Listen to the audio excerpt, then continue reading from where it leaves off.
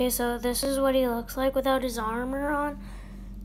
So, does he have a six pack? It looks like he has a he has a freaking six pack. Wow. Look at his eyes. He's like Herobrine. It's all white and stuff. He's really creepy. Um, ugh. Disgusting. Um, on the back?